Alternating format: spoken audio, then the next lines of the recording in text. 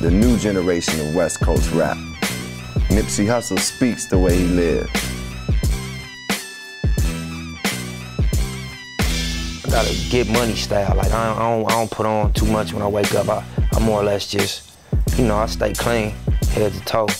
You know, I'm more so like fresh white tee, fresh socks, basketball shorts, some Dickies or something, and then I hit the lab. Success to me, I say it a lot, it's just being able to do what you love to do and, and support yourself off of. Live your dream and do what you love to do every day. So I'm successful in my eyes, because I don't sell dope, I don't go to work, man, I do music and I love to do it. And that's all I have to do to maintain.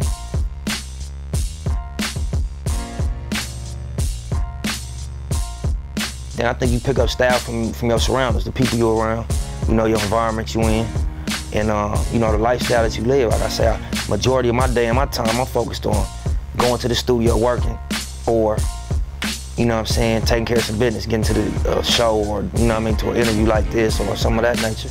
So I dress for that. The term and the swag, only the brave is relevant to what I do on numerous levels. Aggressive, full throttle approach, video, mixtape games, online. I call it the marathon. Every day I run a lap and it don't stop. LA kind of got a desert beach kind of swag. Like it's always sunny out here. You know, it's always the weather right. So people always want to dress in that in that in that respect. I feel like a million bucks, you know, smooth. I just, I feel like I'm unique. I'm gonna run it how I run it. Diesel presents Only the Brave. Now I'm out of here.